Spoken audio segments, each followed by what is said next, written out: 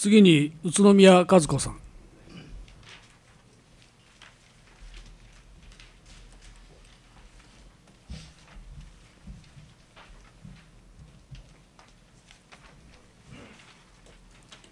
日本共産党の宇都宮和子です。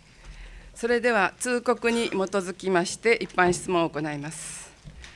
宮津小学校校舎改築についてです。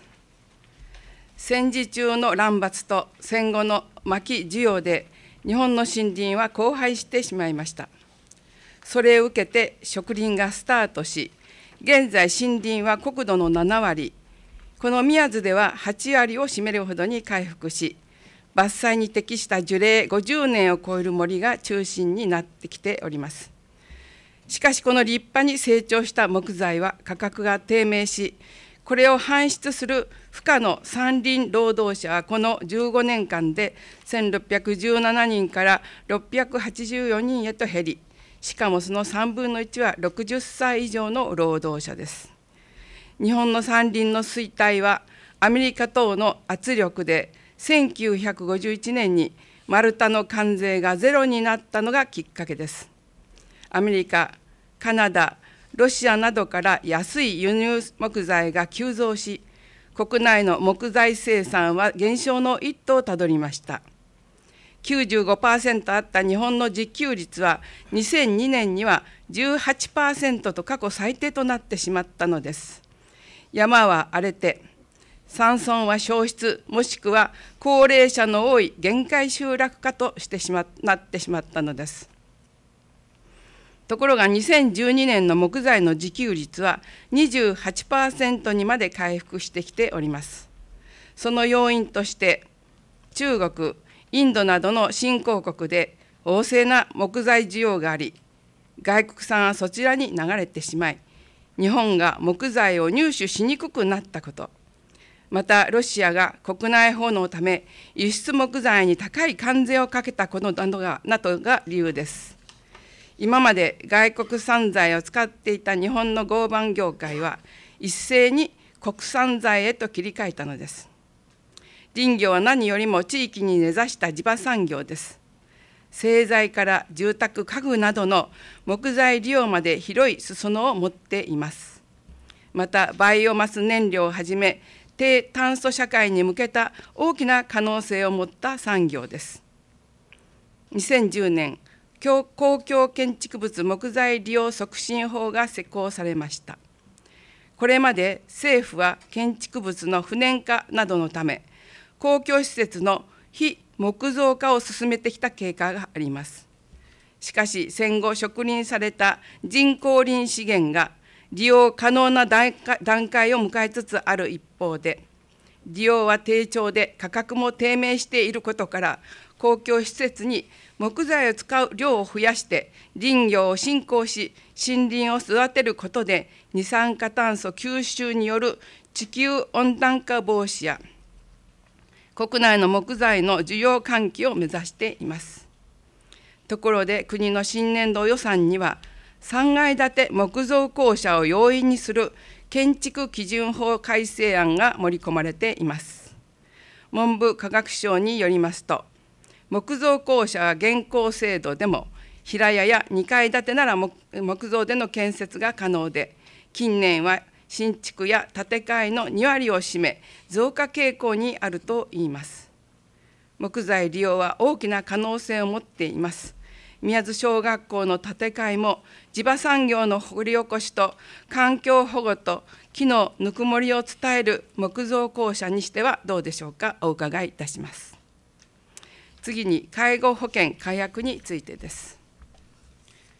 今国会に提出されている医療・介護総合推進法案は介護と医療について大幅な負担増と給付減を盛り込んだ重大な法案です消費税は社会保障のためという言い分がでたらめであることが浮き彫りになりました。とりわけ介護の分野では、要支援者向けの訪問、通所介護を保険給付から外し、特養に入れる人は原則、要介護3以上に限定されることになっています。特に要支援者向けの訪問介護と通所介護は今まで国がサービス水準に責任を持ってきた事業です。しかし今回の改悪は訪問介護、通所介護を市町村に丸投げし、2017年4月までにすべての市町村が代わりの事業をしなければなりません。しかも市町村には費用の効率化が課せられ、事業費にも上限が設けられています。今、毎年5、6%の割合で増えている費用を、75歳以上人口増加率に合わせて3、4%の伸びに抑えることになっています。2025年時点で年2000億円もの経費削減を狙っています。市町村はこれまで通りのサービスを提供しようとすれば、上限を超えてしまい、持ち出しを余儀なくされてしまいます。逆に上限内で抑えようとすれば、サービスを切り捨てるしかなく、住民の反発は避けられないでしょう。市町村の財政力の違いによってサービスに格差が生じることは必至です。中央社会保障審議会のアンケート調査では、全国515の保険者の31.4%が要支援者向けサービスの市町村事業への移行は不可能と回答しています。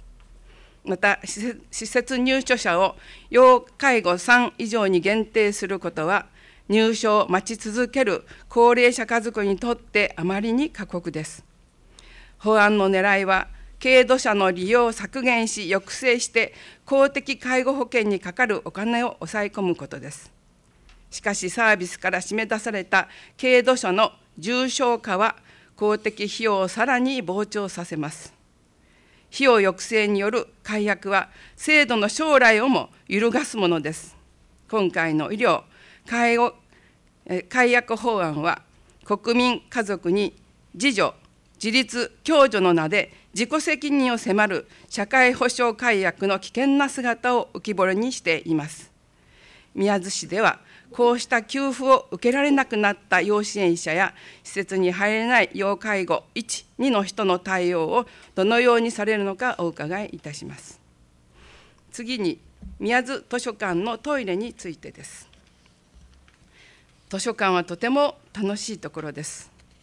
最新の雑誌や趣味の本、また話題になっている本をお金を出すことなく手にできます。また調べ物は司書が丁寧に親切に探してくれます。おかげで知的刺激を受け、好奇心を広げてくれるところでもあります。よその町に行くと、そこの町の図書館がどんなところかとても気になります。それは図書館がこの町の文化レベルを表しているからです。午前中は高齢者が、昼間は幼児たちが、午後からは子どもたちが、そして土曜、日曜になると働く人たちがやってくるような、いつも人々のやってくるにぎわいのある図書館を持っている町は、何か町の発展の芽が育っているように思われるのです。ところで、宮津の図書館は大変老朽化しています。改築の話もありましたが、財政再建でその方向性も出ておりません。宮津市はトイレの推薦化を推進する立場から、トイレの推薦化は実現できましたが、内部の改装はなく、男女共用です。しかも洋式トイレは障害者用と共用であるため、アコーディオンカーテンになっています。そのアコーディオンカーテンに隙間が空いています。男女共用トイレで隙間が空いていることをどう思われますか？この町の生活レベルを表すトイレです。町の人々の生活ベースが安定していてこそ観光客も呼べるのではないでしょうか？男女別のトイレ改修こそ急ぐべきではないでしょうか？お伺いいたします。次に教育委員会、えー、教育委員会制度改革についてです。教育委員会制度は戦後教育の民主化を目指して作られました政治権力によって利用され翻弄され続けた戦前の教育の反省から教育行政を文部省行政の直接的な指導と統制から外し市民の意を受けた合議機関に委ねることで教育の政治的中立性や専門性を確保しようとしました。そのため、当初の教育委員会は、住民が選挙で選ぶ公選制でした。しかし、こうした民主的なやり方が気に入らなかった自民党は、1956年、教育委員を自治体の市長による任命制に変え、文部省の統制を強め、その形骸にを形骸化を進めてまいりました。その結果、教育委員会は今、国民に求められていた役割を果たすことができていません。いじめ問題にしても、教育の中立性の問題についても、国民の不満をかきたてています。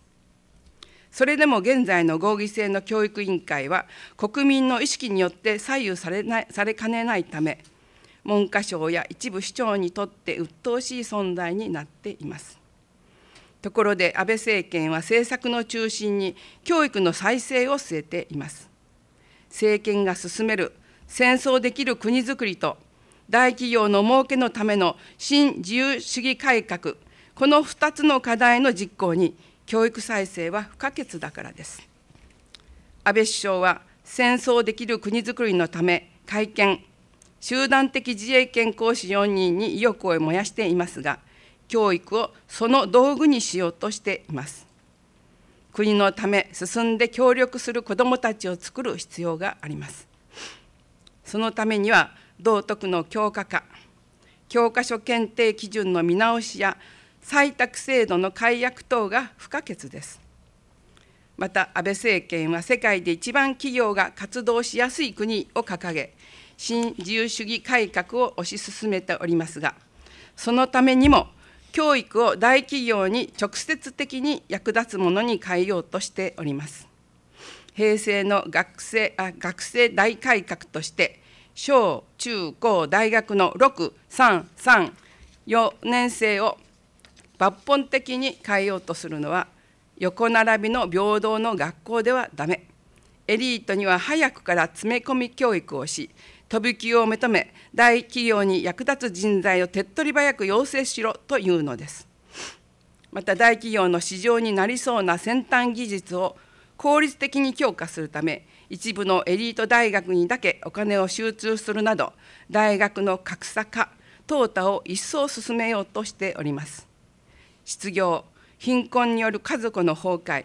格差と選別競争教育の中から引き起こされる子どもたちのいじめや大敗の問題には上からの道徳教育で抑え込もうとしております。今大事なのは教育教育委員会の本来の役割を発揮させ本当に教育を子どもたちのものにする必要があります。文科省や市長の意思が貫徹される体制に作り変えようとしている教育委員会改革制あ教育委員会制度改革についてどのようにお考えかお伺いいたします。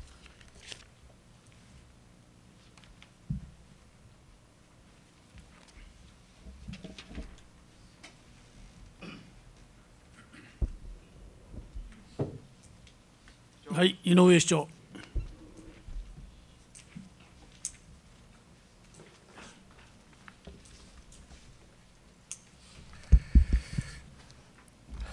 宇都宮議員のご質問のうち、1点目の宮津小学校改築について私からお答えし、その他につきましては、教育委員長、担当室長からお答えをいたします。現在、教育委員会では、宮津小学校の校舎改築基本計画策定に向けて、保護者、地域、学校関係者による宮津小学校校舎改築等検討委員会を設置し、委員の皆様方に北校舎及び管理棟の改築について熱心に議論をいただいているところであります。学校施設における木材の利用は木材の柔らかで温かみのある感触や優れた吸湿効果から豊かで快適な学習環境づくりを行う上で効果が期待できまた地域経済の活性化などが図られることから文部科学省農林水産省において、その推進が図られており、全国的にも学校施設における木材の利用は増加傾向にあります。議員ご提案の宮津小学校改築に関わる木造化についてでありますが、構造そのものを木造とすることは、現行建築基準法においては、耐火、防火上の問題から3階以上の校舎建築が困難なことや、地震、津波等自然災害に対する防災上、安全上の観点から、木造校舎より鉄筋コンクリート造り校舎がより安全と考えられていることなどから、検討委員会では、構造を鉄筋コンクリート造りとし、天井、床、壁等の内装は木質化するようご意見をいただいております。教育委員会としましては、まあ、私もそうですけれども、このご意見を基本計画にできるだけ反映し、校舎整備を行っていきたいと考えているところであります。内装の木質化にあたっては、修林等の市内の木材の活用を図ってまいりたいと考えております。また、その木材の確保に向けて、その段取りを早期に進めていきたいと考えております。ご理解賜りますようお願いを申し上げ、答弁とさせていただきます。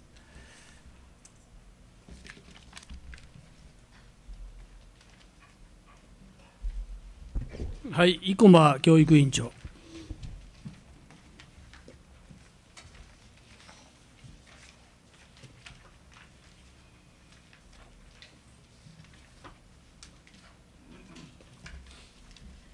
私から宇都宮議員の4点目のご質問の教育委員会制度の改革についてお答えをいたします。議員お触れの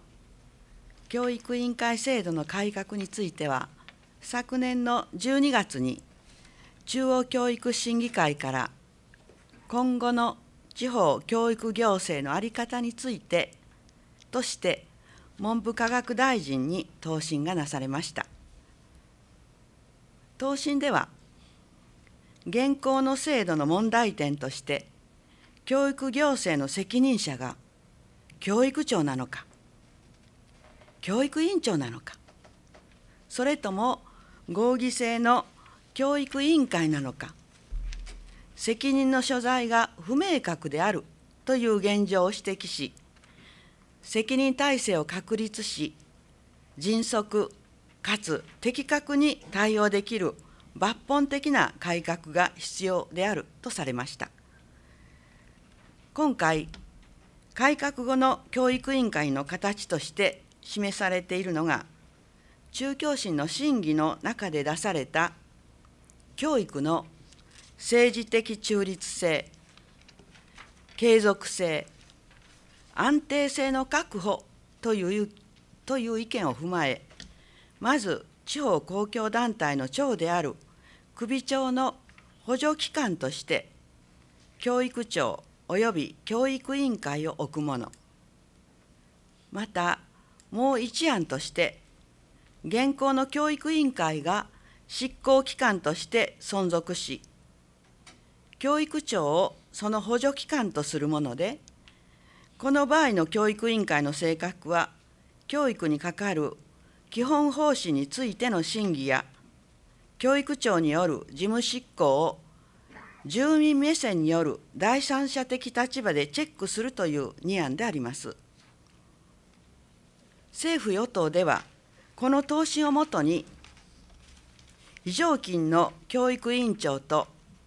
常勤の教育長を統合し、常勤の代表教育委員仮称を設置し、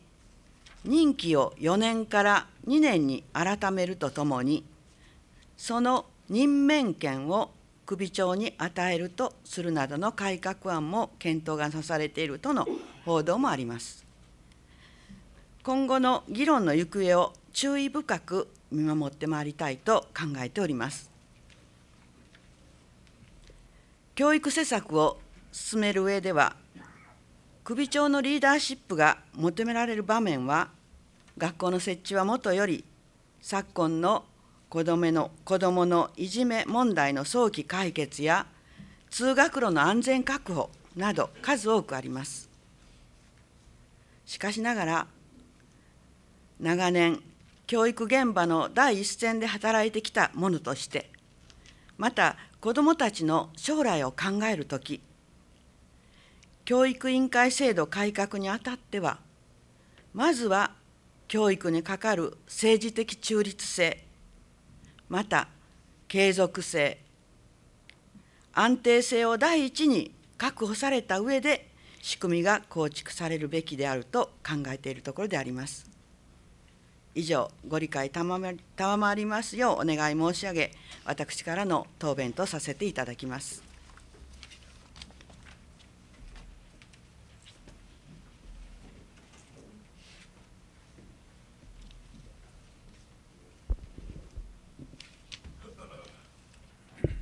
はい、山口健康福祉長。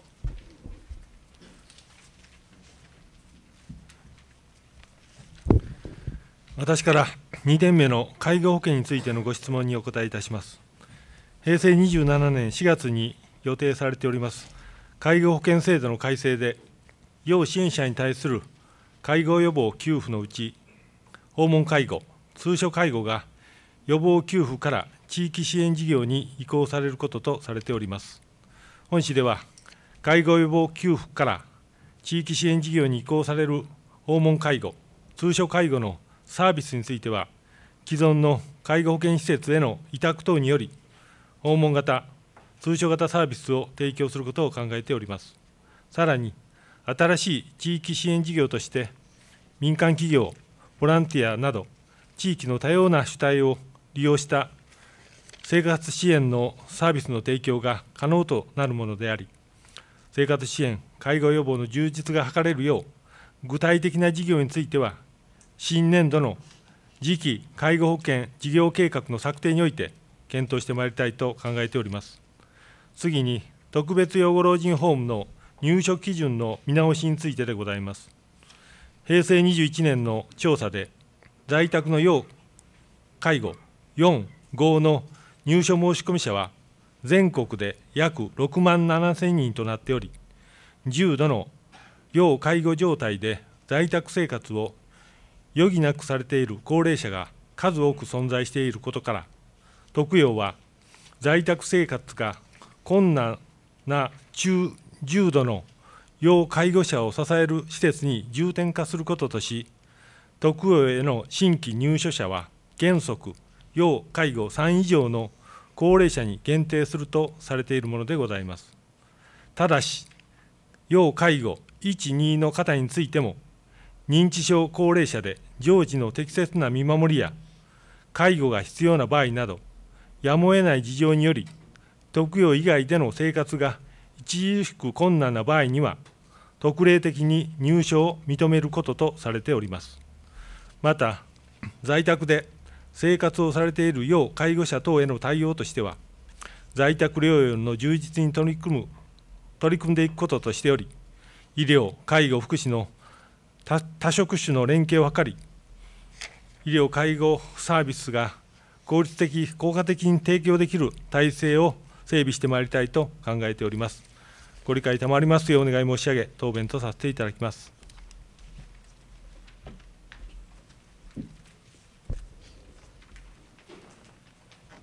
はい、尾崎総括室長。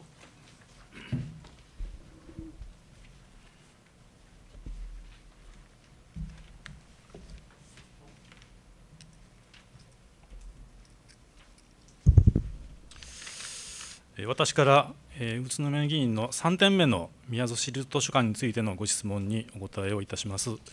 えー、宮津市立図書館については、本市の文化施設の中核として、昭和46年に現在の場所に開館し、以来、多くの市民に親しまれ、広く活用されています。しかしながら、あのこのその建築は、築後40年以上が経過し、老朽化が著しく、また所蔵図書の増加などに伴い、施設の共愛化が進み、これ以上の図書の蔵書が困難な状況にあります。そうした中で議員からは、まずはトイレの改修を急ぐべきではないかと。とのご質問をいただきました。この件につきましては、これまでから改修方法等について検討する中、先ほど申し上げました共愛化により十分なスペースが確保できないことから見送っているところでございますが、平成26年度において現状のスペースにおいて、可能な範囲で最低限のプライバシーの保護の手立てを検討してまいりたいと考えておりますなお平成26年度において市全体の公共施設マネジメントを進めていくこととしておりその中での議論の結果をも踏まえながら図書館の在り方を検討し必要な対応をしたいと考えておりますのでご理解賜りますようお願い申し上げ答弁とさせていただきます。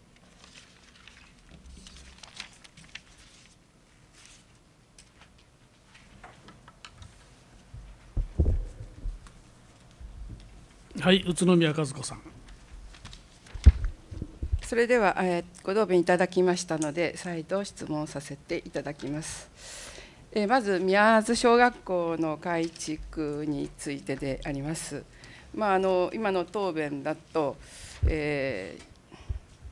まあ、内装、天井、床、壁この辺は木造にするということでこれはおそらく今の建築基準法ということになるんでしょう。で先ほどあの第一質問でも述べましたように今国では3階建ての木造校舎の緩和を進めているという真っ最中なわけでして、まあ、あの3階でも安全な工法があるということがもう確認されつつあるようなんですね。ですからまあ今今答弁しろって言ったらこういう答弁なのかもしれないんですけれども今後可能性はもっと広がっていくということを踏まえていただきたいなと思います。であ多分3階建てになるんでしょうかねちょっとあの階層はちょっと分かりませんけれども、まあ、3階建てでもそういうことができるということに今後なると思います。であのまあ、学校このこのと、えー通告を出した時にあの、まあ、教育委員会とそれから産業の方から両方お電話いただきまして、まあ、どっちの質問が主なのかということだったんですけどまだ第一義的には学校をどう木造にしてほしいということを申し上げました。でまああのそのもうもう一つはやはり産業の方にもあの質問させていただきますよということは言ったんですけれど。まあ、あの木造先ほどまあぬくもりのあるというようなことなんですけどこれあのえー、っと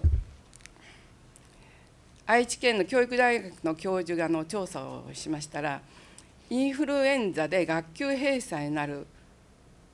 ところが木造校舎はコンクリートよりも半減以下半分以下になるというこういう調査結果が出てるんですね。そういう意味でもあの木造が非常に有効的だということとそれから怪我が少なくなるという調査結果も出ております。まあ、あの今後、まあ、どのようにあの検討されるかそちらに委ねますけれどもこういう効能があるということも踏まえていただきたいなと思うんです。それで質問第2質問といいますかこうしたまあ木造にして樹木っていうか山林を活用するという中でこの施設の暖房設備はどうなるのかということをお聞きしたいなと思うんですね。でまああのいややっぱり石油買って灯油でやるんですよというのかそれとも木材を活用したその方式にしていくのかこれ大変今後重要だと思いますし、まあ、社会が変化しつつある中でこの辺も考えていただけたらと思うんですけれども、まあ、あのどのようにされるかお聞かせ願いたいと思います。あの昨年あの出版されました「里山資本主義」も感動を持って私は一気に読んでしまったんですけれども。まあ、あれでまあ町おこしができるんじゃないかって非常に思っていたわけなんですけれども結局まああの中でまあオ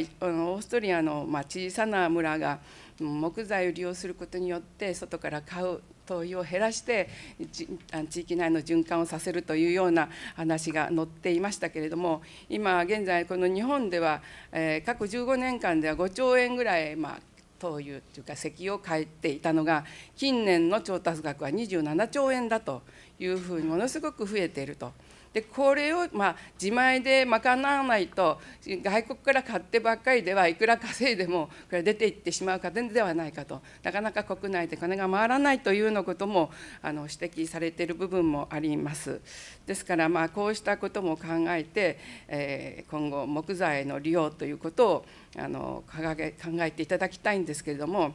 まあ、あのこの間、ちょっと今日もあの木内さんがおっしゃいましたけど、竹資源の方にかなり手を取られたんではないかというふうに私は思うんですね。ですから、遅れてしまうというかね、木質バイオといいますか、こちらの方に考え方を進めてほしいんですけれども、どうも遅れを取っていると。でそれはあの京丹後でやはりあのチップ工場を作るということで私昨年視察してきましたけれども実は行ったらいやまだできてないと入札不調でできなかったんですとこうおっしゃったんですね。でまあいろんなとこで今入札不調が起こってるけども多分来年度はできるでしょうということなんですけども京丹後市はそうしたチップを使ってかなりあの広範囲な活動を広められるようです。そのために、えーと、木の駅という、ね、ものを作りまして林業に従事している方たちの木材を集める日っていうようなものも設定されたりして非常に熱心に取り組んでおられることがよく分かりました。でこれはあの学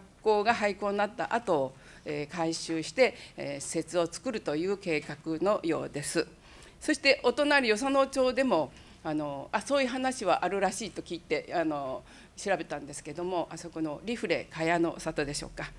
あそこをあのボイラーをやはり、木質チップのボイラーに変えるとなかなか灯油がの値段が上がったり下がったりと非常にあの不安定だということで、えやはり安定的に供給できる木材によって温泉を賄っていくと。これ京丹後も同じですね。温泉とか温泉旅館っていうのが非常にたくさんあるということを、言われてました。ですからほらそうやってあのいろんなとこで石油を使わないで、え、木材を活用するということでぜひとも宮津市もあの竹はそこそこにして木材の方に方向性をシフトしていただけたらなと思ってております。まあ、雇用拡大もありますので、あのこれがあの山林の中ですね、あの働く人が増えたら、えーいわゆる限界集落というのも少しずつ解消するんではないかと思うんです。それのいい例としてこれは日本ではないんですけどもあのドイツではあの林業山林に従事する方っていうのは130万人おられると。自動車産業は95万人あ93万人だったかなというふうにあの自動車産業よりもそういう山林に従事する人の方が多いということで限界集落はないということを聞いております。ですから、まあ、こういうあの学の事例、まあ、日本の中でもかなり今あの広まってきているのはあの本の中にも書かれておりますのでそういう方向性を作っていただきたいなと思います。えー、っととりあえずじゃ学校に関してはその暖房の部分と、えー、木質培養の方にシフトさせていただくかどうかその辺をお伺いいたしたいと思います。それから介護保険の問題なんですけれども、えー、まずそのこの給付から外れる方って何人ぐらいいらっしゃるのかまず教えていただきたいんですけれどもあの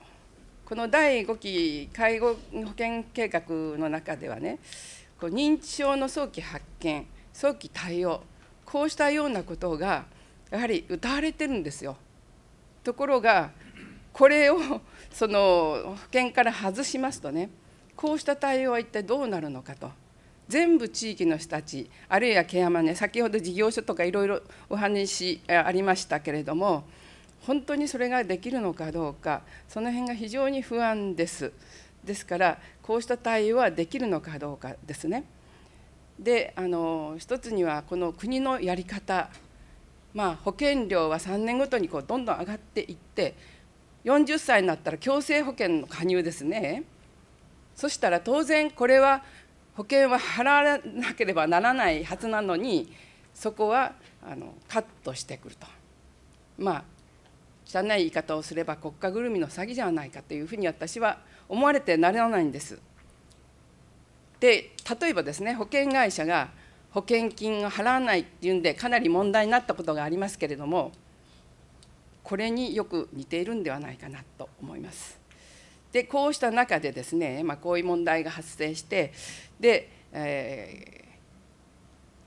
高齢者の虐待事件っていうのがこの2年間で増え続けてるでこれは加害者は息子夫娘。これ妻とかね 出てこないんですけれどもこういう人たちの暴行暴言放棄まあネグレクトですね。でこの,、まあ、あの近年の441人いらっしゃるというそのうち58人が激しい暴行を受けて生命に危険を感じるまでになっていると。重大な危険性を持っているという報告があります。こうした問題が今の介護保険制度の中でも起こっているのに仮に給付が外れた場合ですねや地域で支えるという話が先ほど散々出てまいりましたけれどももちろんボランティアとかそういうのは皆さんの真心で作っていくもんなんですけれども国のやり方としては本来保険給付をしなければならないものを外して地域に丸投げする、まあ、市に丸投げするというこういうやり方でとりあえず皆さんでやってくださいという方向しか私には見えないんです。ですからこういう虐待が本当に今後どうなっていくのかもしお考えがあったらお伺いしたいと思います。それから、まあ、あの私昨年の決算の時でしたっけ？あの架橋さんの話が出ましてでどんな架橋さんの要望が多いのかどんなお仕事が多いのかという質問の中で散歩とか買い物という答弁があったんですけれども、まあ、これは介護保険から以前の保険から外れたものですね。そしてその時ピンときたんです。これはこの架橋さんっていうのはいずれ介護保険の肩代わりをするものになるんじゃないかと。非常に危険性を感じました。でやはり先ほどの松本議員の、うん、対する答弁を聞いていますと、まあ、地域力身近な地域力を活用していただくっていうようなあの言葉が出てまいりましたけれども本来は介護保険で今まで認めてきたものですよね。それをまあ地域に投げていくということ自身がもうすでに、えー、この社会保障というものを逸脱しているっていうふうに私は思っています。あくまでも地域の人たちはそれでも賄えないところを皆さんで支え合うっていうのが本来の地域力だと思うんです。国で決めた介護保険保険料を取りながら外したものを地域で受けるなんていうのはおかしな話です。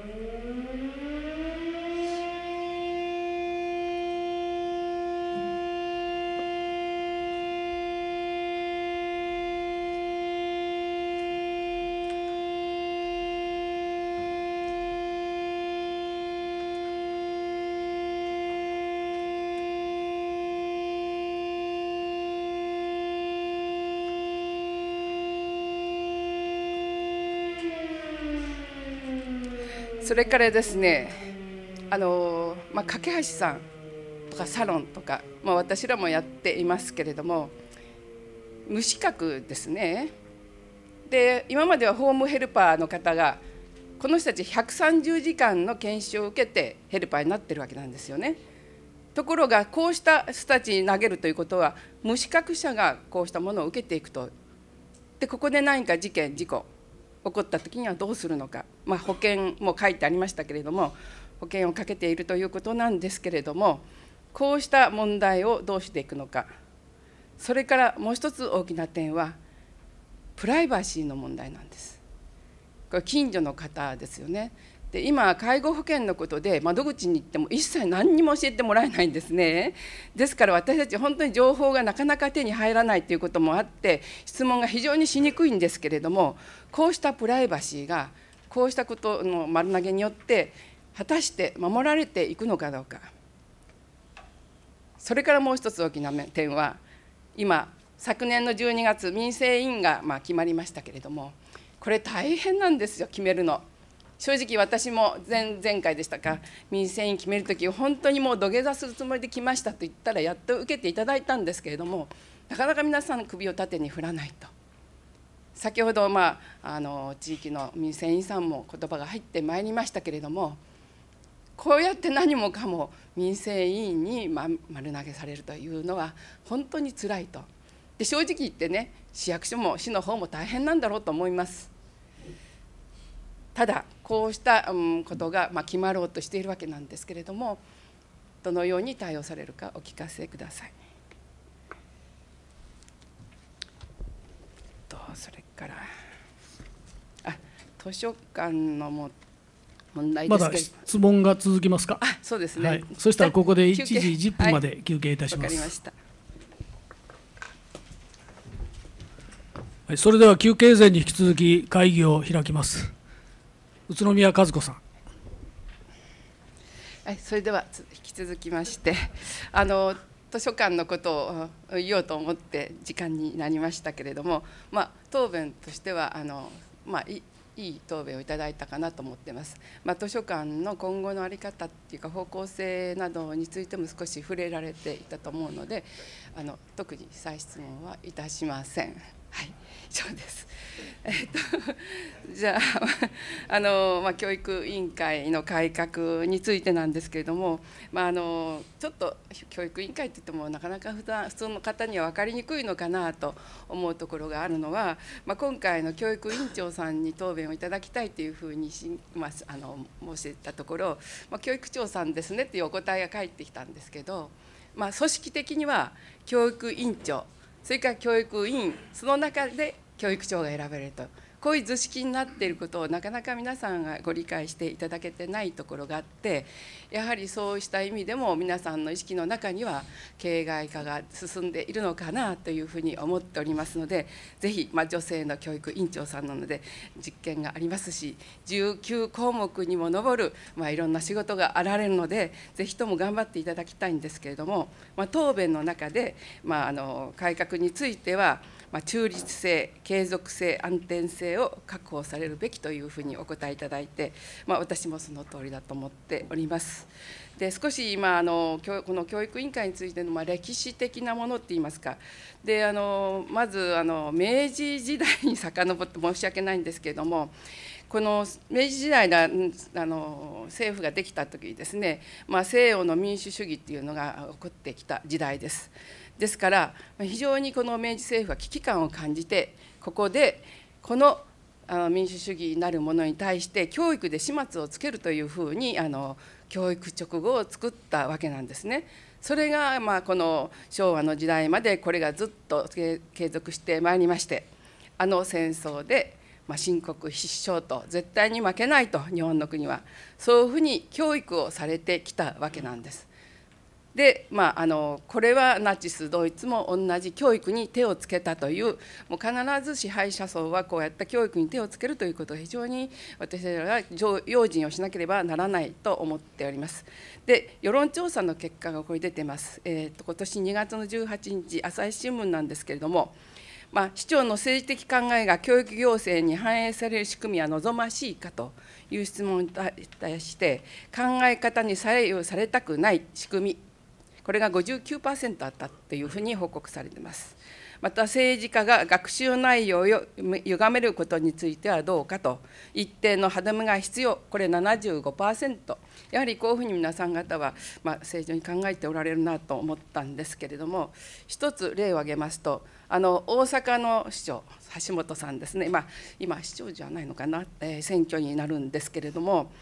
あの方が無理やり進めたのは民間人校長っていうものをやりましたね。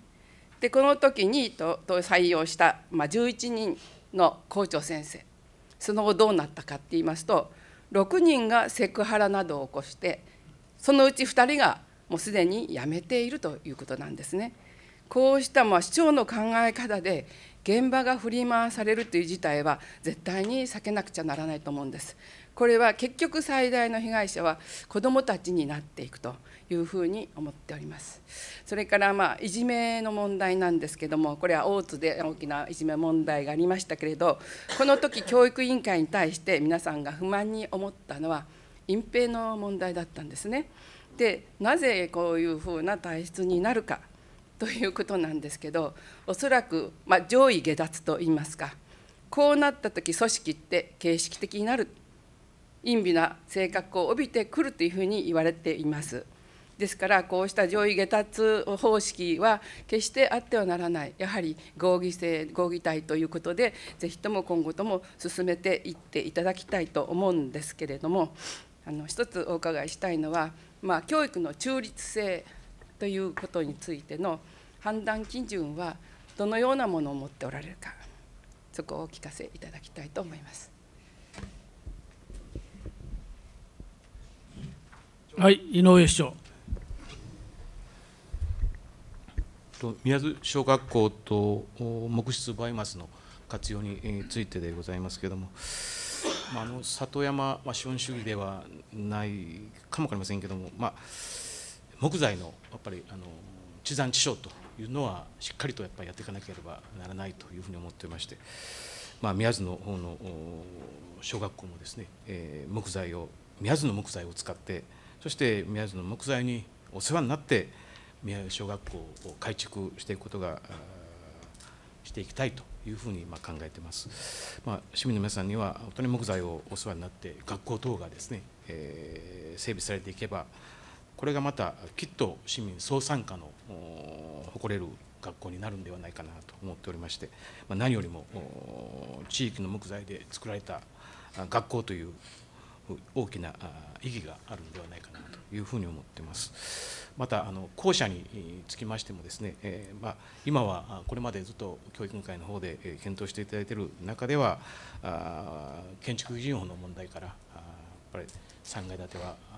なかなか安全上とか防火上とかも含めて難しいんではないかなという形で、えー鉄筋コンクリート作りというふうになってますけども、まあ、先ほどお話がありましたように今国の方でも、まあ、建築基準法の方で3階建ての木造造りがですね、えー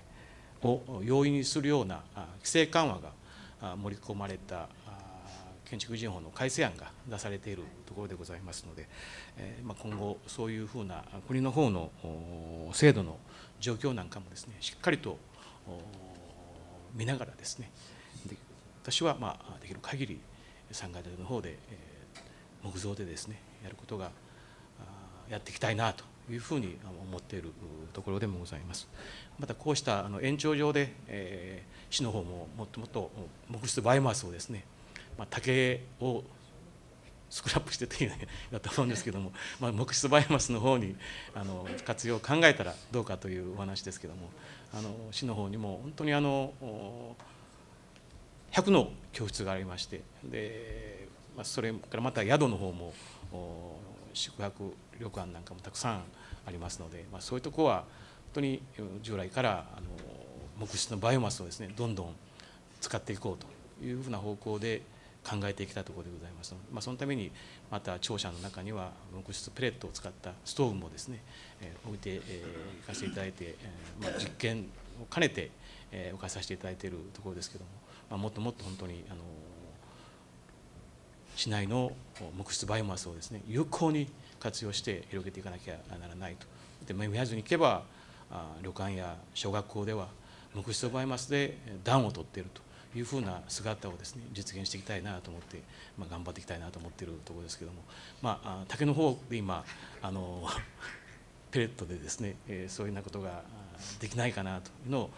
研究開発中ですので、まもう少し、まあ、いきなり竹からあ木質的になるしもう少しちょっと見極めをさせていただいてですね、えーそうした同じ木質バイオマスですので、えそっちの方の普及についても考えさせていただきたいというのは思っているところでございます。それからあのなおあの里山主義についてでございますけれどもあの市の方のまさにあの目指している方向とですね同じような方向だというふうに思ってまして、えーでこの前はあの職員の方にですねあの木質資本主義について勉強していこうということをあの呼びかけました。またあのこの3月11日になりますけれどもあの歴史の館でえモダニさんが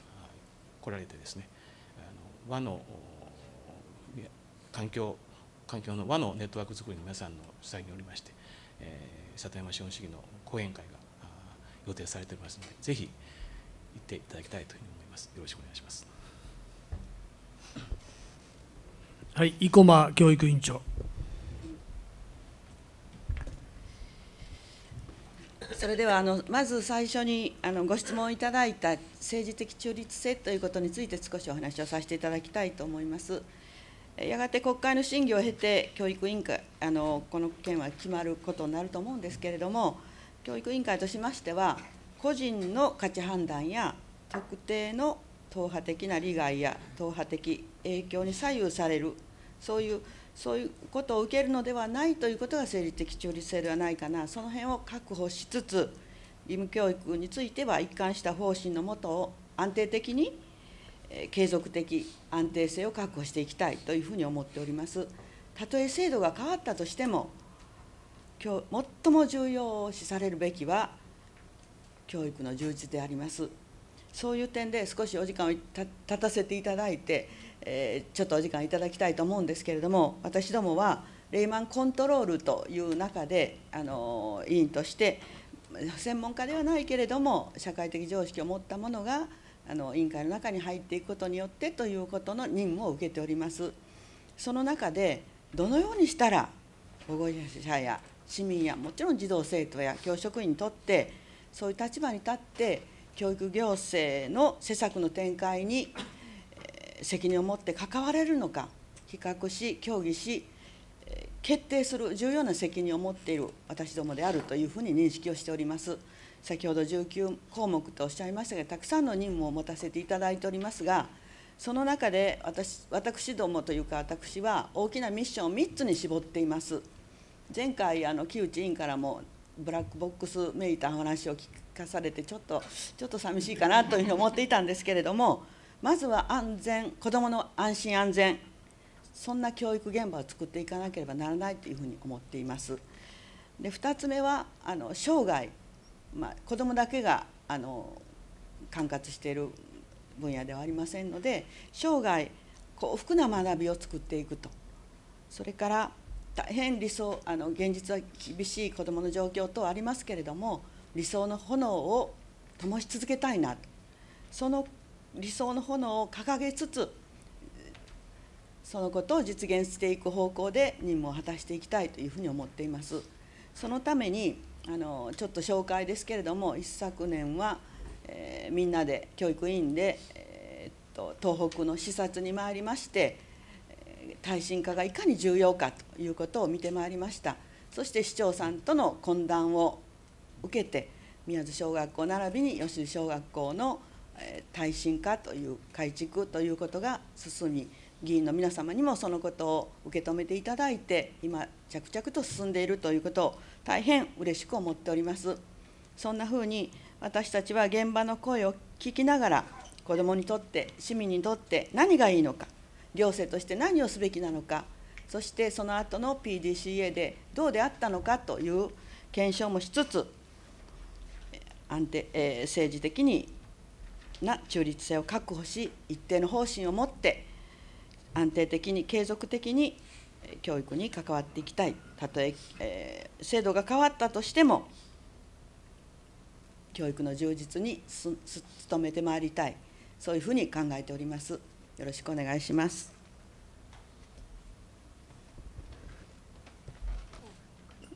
はい山口健康福祉長、えー、介護保険制度についてのご質問いただきました、えー、養子縁1、養子縁2のまず人数なんですけれども、現在517名ということでございます。で、昨年、その介護予防サービス、こうして養子縁1の方が介護予防サービスの訪問介護をご利用された人数は132名、通所介護をご利用になった人数は229名ということでございます。から、まあ、今回のこの改正、えー、全国一律のサービスではなしに、市町村の地域の実情に応じたサービスに移行していくという趣旨の中で、この介護予防給付費の要支援1、2の方が、地域支援事業に移行するんですけれども、え、基本的にはあの介護保険制度の中のサービスということでございます。介護保険制度から出ていくものではないということでございます。からえ、議員さんの方からその事業費の削減等のいうようなお話がございました。私ども今、国から聞いとる中では、この事業費の上限は、事業費の移行分を賄えるように見直しをしますということと、まあ、今後、国がガイド指針、ガイドライン、指針を作るということで、それを市町村に今から示していくということになります。ということで、具体のことはもう少し内容分かりませんけれども、いずれにしても現在の要支援1、2の方のサービスを低下をさせないということで取り組んでまいりたい、このように考えております。以上です。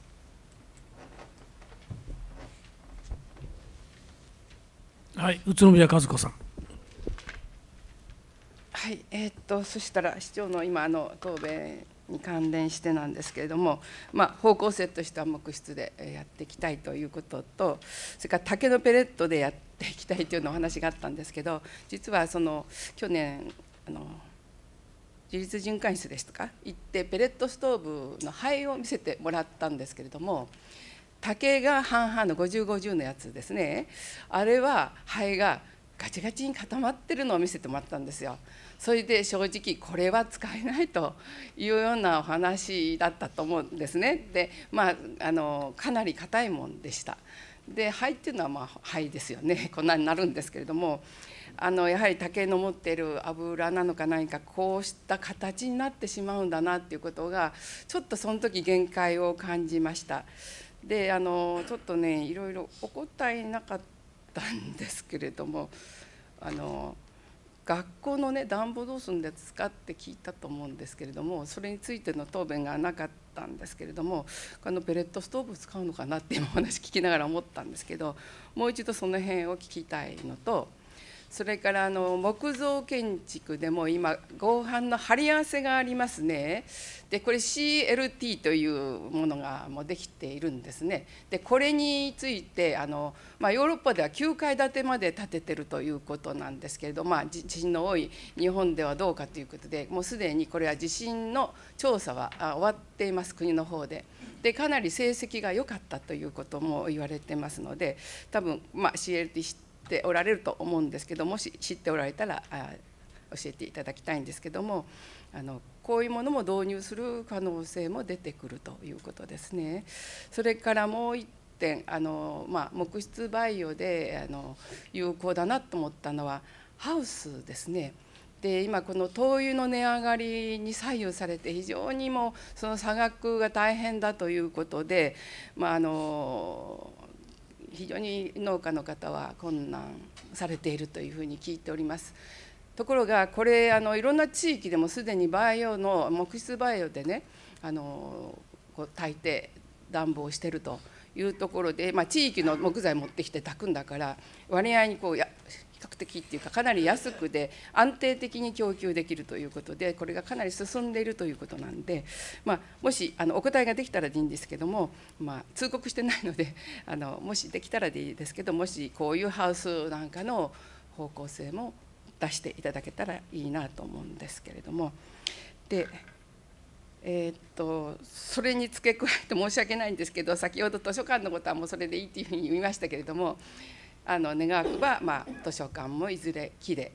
というか木質で材木でやっていただけたらというふうに思っております。それからあの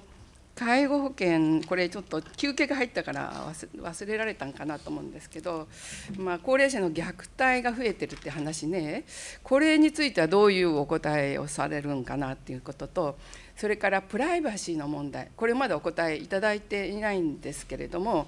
これがいわゆる地域の人たちがこう関わった場合どういうふうに守っていくのか守れるのかこの辺も、え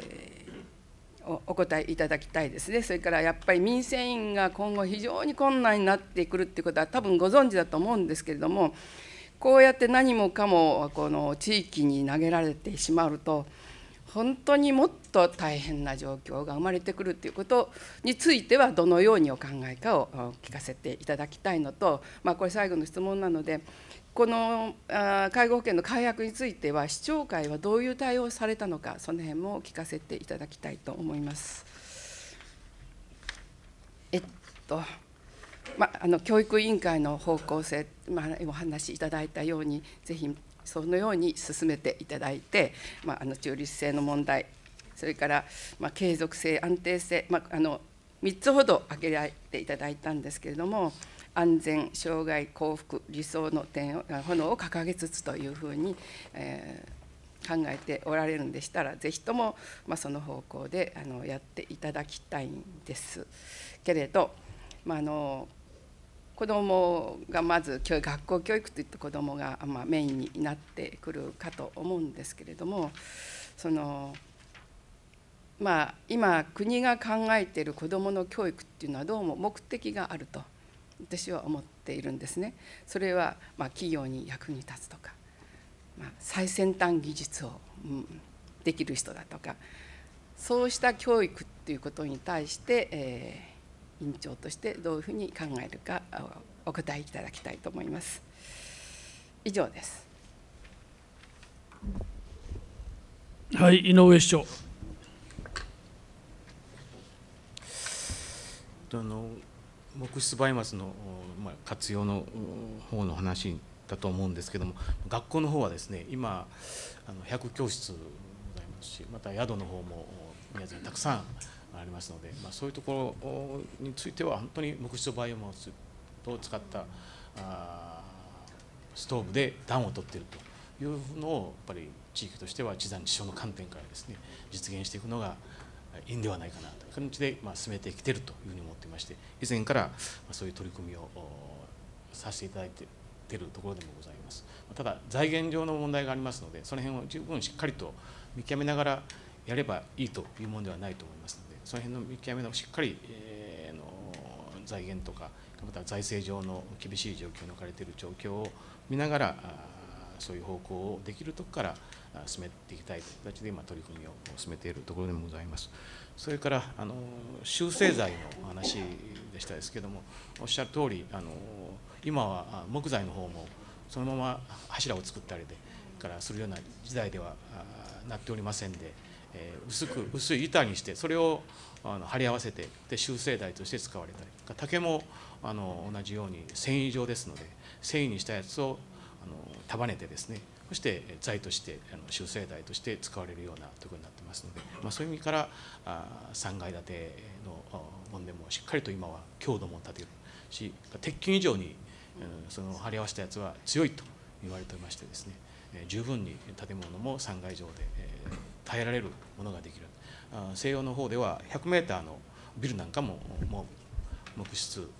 バイオマスで、え、作られているという状況になってきている中でございますので、まあ、そういう点を考えながら国の方の動向を見てですね財政上のことも考えながら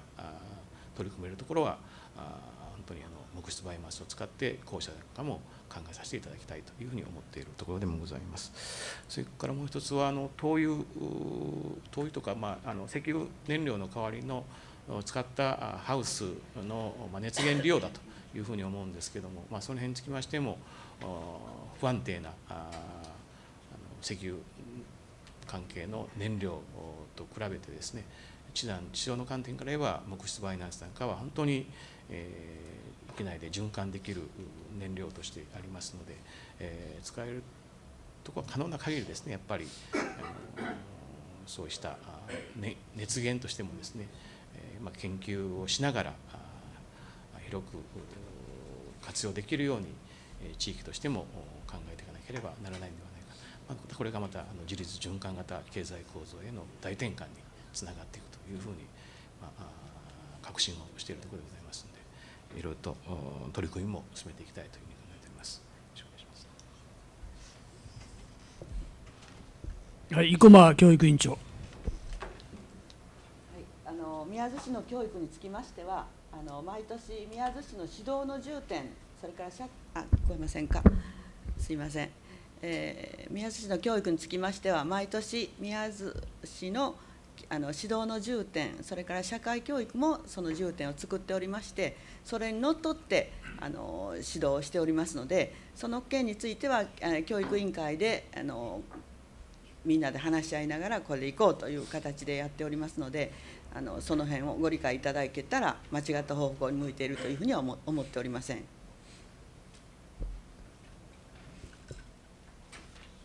山口健康福祉長介護保険の関係でご質問いただきました。まずあの高齢者の虐待のお話です。えー、高齢者の虐待、えー、まあ、近年、えー、増えつつあるんではないかなとこのように思ってます。えーそれはあの一つは原因としたら、高齢者のご夫妻、お二人暮らし、えーともに軽い認知症という中でやはり、え話が噛み合わないような状況の中で手が出てしまう、あるいは高齢者の方と精神障害の子どもさんというような関係、まあ、こういった事例が最近見受けられるなと思っております。で、えーこうした中で、そうした虐待が少しでも防止できるというようには何をすべきかということの中では、もちろん虐待を通報して確認した場合には、緊急、あるいは迅速に、えという緊急性があるであれば、市の方で分離をすると、その過程から他の施設へ分離するということも今現在させていただいております。で、少しでもそれを防止するためにはということになりますと、緊急性等がまだあのそれないということであれば、といって、疑い、虐待の可能性もあるなと疑われるものについては、えいろんな介護のサービスが現在入っております、訪問看護、あるいはヘルパー、あるいはケアマネがそのお宅にご訪問するという中で、その関係者が集って、えケア会議をする中で、今、現状はどうなんだろう、普段見守り、あの訪問する中で、えー状況変化がないかというような意見交換をして、今、対応しておるということです。もしも異常が発見した場合には、何か暴力、あざがあるというような場合には、ケアマネ等が最終的に地域包括が確認をさせていただいて、危険性が緊急度が高いということになれば分離をするということでございます。という中で日々のそうした活動をま重点的に行っておるというのが高齢者虐待の状況です。からプライバシー等の問題ございました。今回あの法律の改正で、えー生活支援事業を充実していこうねということです。えーつまり今現在行っているそのインフォーマルなサービス、えー介護保険制度に適用されないされないようなサービスをもっとあの多様化するニーズの中で広げていこうというのが今回の趣旨の中にもあるんだろうなと思います。いう中でその時にプライバシー確かにそれが問題になると思います。ただ今先ほど申し上げました多分この生活支援事業を広げていくいろんな NPO さんにも事業委託できるよ、えー株式会社にも委託できるよ、事業ができるよということに生活支援事業がなっていくんだろうなと思うんですが、その中のプライバシーという中では、多分あの今後、それが検討されて、国の指針なんかでも現れてくるのかな、まあ今まだ法律が今、国へでと国会で取る最中なんですけれども、今後、そのガイドライン、指針を作作りますということですので、それがどのようなものなのかを、まあ、今、待っておるという状況でございます。それから民生委員さんのお話が出てまいりました、民生委員さん、大変お世話になっておりますし、えー民生委員さんご苦労ですし、民生委員さんだけが背負うものではないと思っております。よって、先ほどからお話もしておりました、そのこの4月1日に発足します宮津市見守りネットワークというのは、まさしく民生委員さんではだけではもう大変ということだと思います。今、民生委員さんが80数名と、民生委員協力員というのが300数十名と400全部で、民生委員関連さんで400数十名おりますけれども、そこだけでも無理だと僕は思っております。ということで、今回、そのいろんな事業所さんにも職員が回ってお願いをし、120社の、120の事業所さんに、この事業に参加しますという同意書をいただきました。ということで、民生委員さん以外のそういう地域にで活動している事業者を、あるいは団体にもう一度、えーお話をさせていただいて、高齢者、あるいは障害者さんの見守りをもっと普段のその気づきの中で、生活の中で見守っていこうということを、今回、4月1日からさせていただくということでございます。で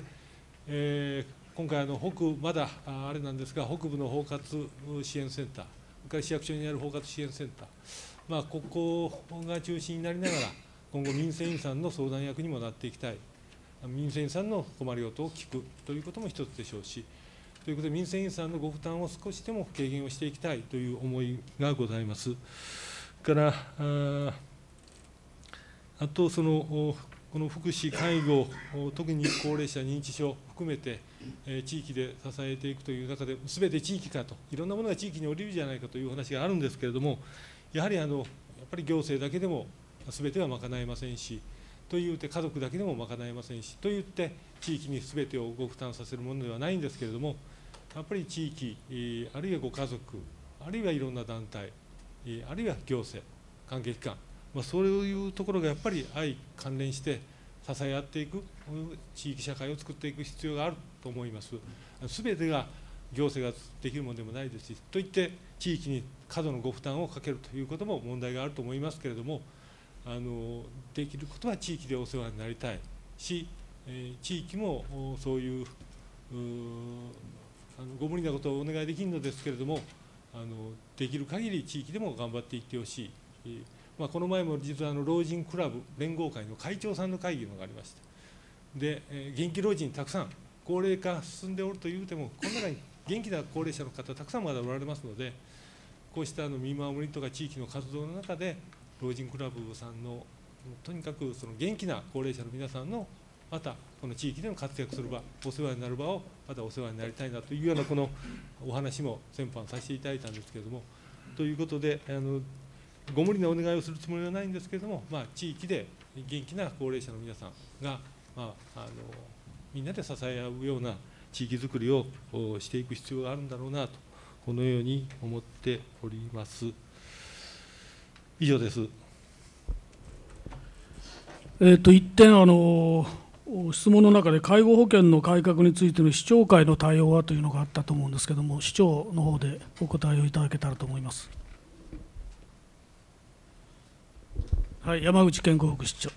あのちょっと今、要望等の市長会の要望等、手元にないんですけれども、えー、一番大きなあのことが一つあったと思います、議員さんのご質問にはございました、えー、特別養護老人ホームの入所基準の当初、あの答申か何かは、えー、3以上の基準ということやったと思います。そのいろんな社会保険審議会かなんかの答申が3以上であった、それが全国的に波紋を読んで、波紋を読んだ、つまり全国の市町村から団体から、3以上は3以上でどうなのと今でも1、2、えー、家庭の事情がありあるいは認知症があり、えー、行き場のない方が1、2でも入っておる事例がありますという中でそれはなんとか救えないんかというのが後で出てきた多分あの市長会なんかでも要望されて、えー、ただし書きで1、2についても特例的に認める場合がありますよというのが後からついたということだと思っております。以上です。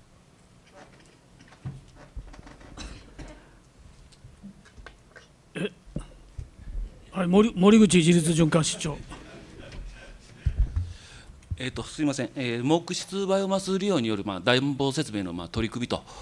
いうようなことのご質問があったかと思います。で、えー、議員おっしゃいましたように、その自立循環室に一度お越しいただいて、そのまあ、竹のペレットを使ったそのペレットストーブ、まあ、これ、灰がガチガチで、ちょっと限界があるんじゃないかなというようなお話もございました。あの実際、その平成22年、23年に、そのペレットストーブをあの市役所に、まあ、設置導入をいたしておりますし、えー、そのほか地区連絡所こういったところにもペレットストーブも導入しておるということでございます。でまあ、あのそれは試験導入というようなことでさせていただいておりまして、えー、当時はその木質のペレットを入れさせていただいておってで、まあ、暖房ができておったということでございます。でそこにまあなんとか竹も活用できないかということで、まあ、ハイブリッドという形で木質と竹と混合したペレットも作っていただいて、まあ、それも試験的に稼働をしておるということでございます。でただあのおっしゃいますようにあの少し、えー、クリーンカーというんですかそういったものの目詰まりみたいなものもあるということであの全てが全部が調子よく暖房できておるという状況ではまあないということなんですが今現在自立循環室においてもその竹との混合のペレットを使わせていただいておりまして今動いておるということでございます。であのすみませんあの木質に限った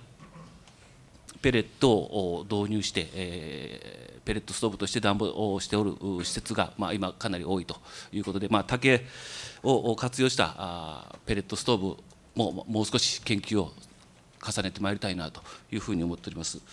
でそれからそのハウス栽培への導入というご質問もございました。でこれについてもあの農業者にいろいろとアンケートといいますか取らせていただいております、聞き取り調査もさせていただいております。ただそのその暖房設備を導入するにあたって、その初期投資が、